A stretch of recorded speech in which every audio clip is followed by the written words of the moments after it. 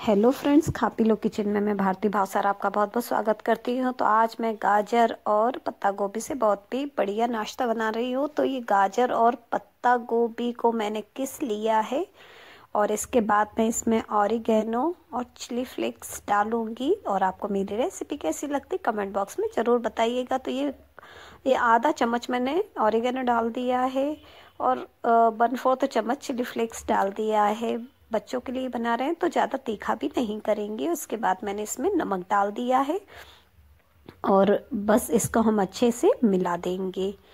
तो ये हमारा वेजिटेबल वाला नाश्ता तैयार हो रहा है और ये देखिए, अच्छे से हमने मिक्स कर दिया है।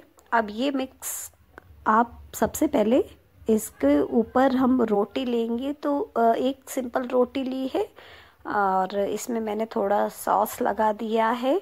सॉस के बाद ये मियोनीस लगा देते हैं। आजकल हर घर में अवेलेबल होता है। तो ये दोनों चीज़ें मैं लगाकर अच्छे से फैला देती हूँ। और ये बची हुई रोटी का नाश्ता है।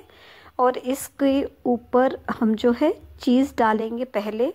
आप कोई भी चीज़ का इस्तेमाल करते, कर सकते हैं। मैंने अमूल चीज़ डाली है और इस पर थोड़ा सा ऑरिगेनो डाल दिया है। और थोड़ा सा चिली फ्लेक्स डाल दिया है। और अब जो है, जो मैंने ये सब्ज़ी जो किसी थी, उसको मैं डाल दूँगी।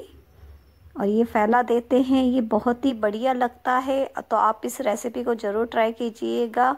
बच्चे यदि सब्ज़ी नहीं खाते हैं तो इस सब्ज़ी का यूज़ आराम से कर सकते हैं।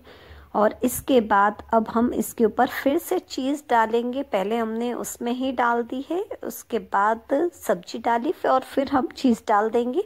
इसके बाद तवे पे हल्का सा घी या तेल डालेंगे और बिल्कुल थोड़ा सा इसमें एक चम्मच पानी भी डालेंगे। उसके बाद इसको हम जो तवे पर ढककर इसको हम बिल्कुल मीडियम लो फ्लेम पर इसको हम ढक्कन लगाकर चीज़ मेल्ट होने तक के पका लेंगे।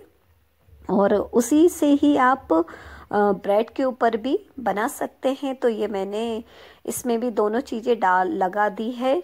और अब इसमें सब्ज़ी जो रखी थी, वो जो हमने तैयार की थी, वो हम लगा देंगे ब्रेड के ऊपर। हमने सॉस और मेयोनीज लगा दिया था। इसके बाद इसमें सब्ज़ी डाल दी और सब्ज़ी के ऊपर हम इसमें